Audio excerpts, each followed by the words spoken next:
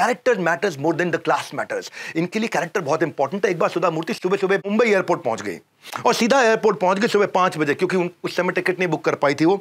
Emergency में थी, लेनी थी फ़्लाइट किसको रात को तीन बजे उठाती अपने ऑफ़िस में टिकट बुक करो? टिकट काउंटर पर जब पहुँची तो फ़्लाइट फुल बिज़नेस क्लास मिले नहीं उनको।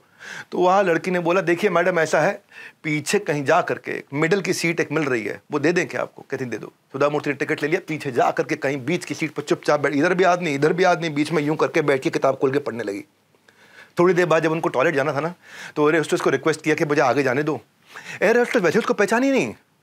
सुधा मूर्ति जी को पहचानना, ना पहचानना एक अपराध है अपने आप में। लेकिन नहीं पहचाना उन्होंने। पर उनकी उम्र को देखते हुए हाँ कर दिया, ठीक है, आप आगे टॉयलेट चले जाइए।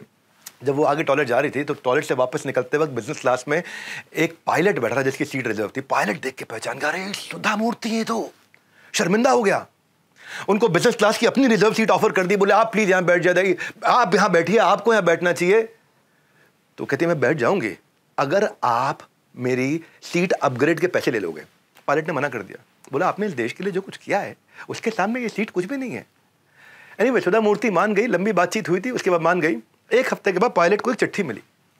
और चिट्ठी थी उसके बच्चों का धीरू भाई अंबानी स्कूल के अंदर एडमिशन का कंफर्मेशन और लिखा था कि अगले 12 साल के बच्चों की सारी फ़ीस इन्फोसिस फाउंडेशन ने स्पॉन्सर कर दी।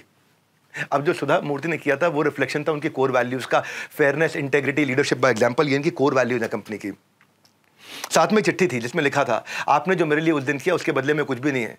सुबह सुबह छः बजे की जो फ़्लाइट है ना, ऐसे कोई घूमने के लिए नहीं लेता है। आप भी काम से जा रहे थे, पर आपने मेरे लिए सीट छोड़ दी। पायलट को याद आया, उस दिन उन्होंने सुधा जी से बातचीत में बोला था कि मैं अपने बच्चे का एडमिशन कराना चाह रहा हूँ धीरू भाई अंबानी स्कूल में, और हो नहीं रहा है वहाँ पर अब धीरू भाई अंबानी इंटरनेशनल स्कूल अलग ही स्कूल है। ये क्या है? ये भारत का नंबर वन आईबी स्कूल है international baccalaureate IB school number one है 2019 से इंडिया का।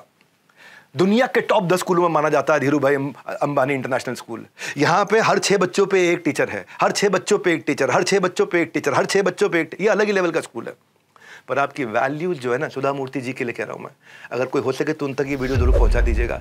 आप सब तक पहुँचाओगे तो कोई ना कोई उन तक पहुँचाएगा। आपकी वैल्यूज़ जो है वो आपके व्यापार में नहीं बल्कि आपके व्यवहार में दिखनी चाहिए। सिर्फ़ कंपनी के ब्रोशर में नहीं बल्कि आपके बिहेवियर में रिफ्लेक्ट होनी चाहिए, उसको बोलते हैं वैल्यूज़ बीस लाख रुपए एनुअल फ़ीस थी उस स्कूल की, एक साल की बीस लाख रुपए फ़ीस थी।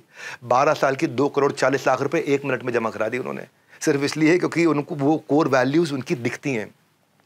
आज सारा अली खान वहाँ से पढ़ी, अर्जुन तेंदुलकर वहाँ से पढ़े, जानवी कपूर वहाँ से पढ़ी राध्या बच्चन आज अभिषेक बच्चन की बेटी वहीं पढ़ती हैं।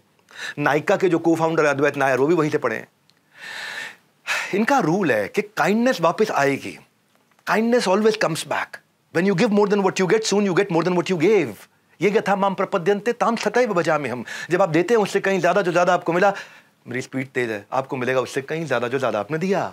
ये गथा माम प्रपद्यंते ताम सतैव बजा में हम। गीता इन एक्शन देखा करो।